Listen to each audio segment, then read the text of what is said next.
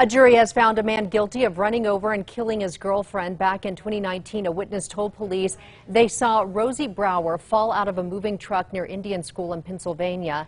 They say she was then run over by her boyfriend, Joseph Zamora. Today, a jury found Zamora guilty of vehicular homicide.